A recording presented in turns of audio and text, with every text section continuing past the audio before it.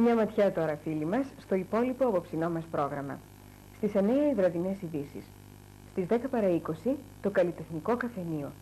Καλεσμένοι της σημερινής εκπομπής είναι η Μάγια Μελάγια, η Σπεράνζα Βρανά, η Λάουρα και ο Νάσος Πατέτσος. Η σκηνοθεσία ανήκει στον Έστορα Παβέλα. Στις 11 παρατέταρτο η ταινία του Σαββατόβραδου θα προβάλλει το κοινωνικό φιλμ νουάρ «Πίσω από τα σίδερα» που γύρισε το 1940 ο Ραούλ Walsh.